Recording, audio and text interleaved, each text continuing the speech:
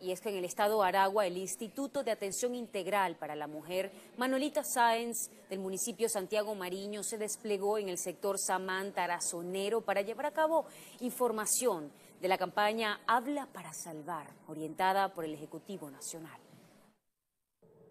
Así lo informó Gypsy Colmenares, presidenta de INA Mujer, quien destacó la importancia de los conversatorios y jornadas de sensibilización que se hacen semanalmente para dar a conocer los 25 tipos de violencia que hay.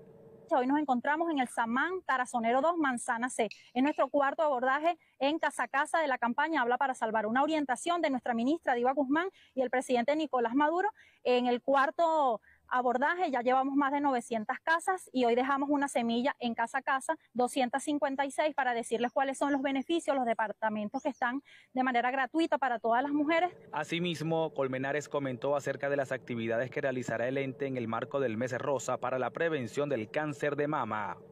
mundialmente, que este mes conmemoramos sobre todo la cultura preventiva de uno de los índices más altos de muerte de mujer, que es el cáncer de mama, y nosotros queremos desarrollar varias actividades. Una de ellas va a ser el lunes cívico rosa, que vamos a hacer el 16 de octubre. Vamos a desarrollar también una caminata 5K por sexto año, donde siempre se conglomeran más de 2.000 mujeres y también vamos a desarrollar una gran actividad macro con el ámbito de salud. Recordemos que INA Mujer cuenta con un personal calificado para ejercer acciones en contra de la